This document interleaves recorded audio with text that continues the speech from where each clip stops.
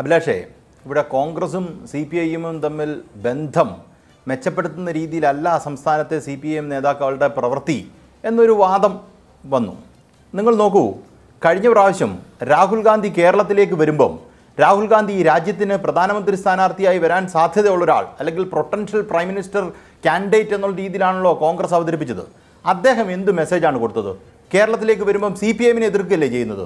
അദ്ദേഹം ഏത് B J പിക്കാരനെയാണ് കേരളത്തിൽ തോപ്പിച്ചത്? ബി ജെ പിക്കാരനെ അല്ലല്ലോ തോപ്പിച്ചത്. അപ്പൊ അവർ ചെയ്തത് എന്താണ്?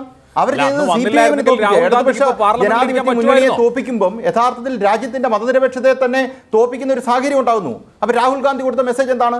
അങ്ങനെ ഒരു ഘട്ട ഒരു പ്രാവശ്യം കൂടി അദ്ദേഹം വരികയാണെങ്കിൽ അവരെ ജനങ്ങളെ പറഞ്ഞ് ബോധ്യപ്പെടുത്തി ജയിപ്പിക്കേണ്ട ഒരു ആവശ്യമുണ്ട്.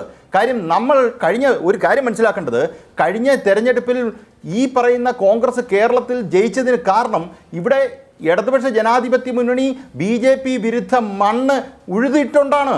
ഇവർ ചുമ്മാതെ പറയുന്ന പോലൊന്നുമല്ല. ഈ ബി ജെ പി വിരുദ്ധ വികാരം എങ്ങനെയാണ് ഈ കേരളത്തിലുണ്ടായത് അതുണ്ടായത് ഉറപ്പായിട്ട് ഞാൻ പറയുന്നു. അതിന്റെ സി പി ഐഎമ്മിന്റെ പങ്ക് ചെറുതല്ല. ഇടതുപക്ഷ ജനാധിപത്യ മുന്നണിയുടെ പങ്ക് ചെറുതല്ല.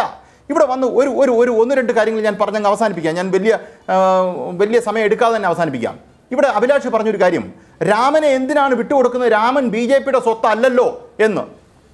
അപ്പം നമ്മൾ അല്ലെങ്കിൽ ബി ജെ പി വിചാരിക്കുന്നു രാമൻ ബി ജെ പിയുടെ സ്വത്താണെന്ന്. അല്ലെങ്കിൽ രാഷ്ട്രീയ രാമൻ. എങ്ങനെയാണ് രാമൻ ബി ജെ പിയുടെ കയ്യിലെത്തിയത്?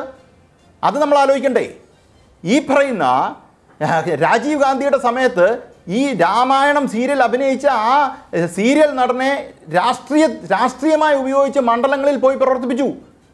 ആ പൊട്ടൻഷ്യൽ മനസ്സിലാക്കി അദ്വാനിയും മുരളി മനോഹർ ജോഷിയും കൂടെ യഥാർത്ഥത്തിൽ രാമനെ അവർ ഹൈജാക്ക് ചെയ്തു. അപ്പൊ രാമൻ ബി ജെ പിയുടെ കയ്യിൽ എങ്ങനെ ചെന്നു? അത് കോൺഗ്രസ് എത്തിച്ചു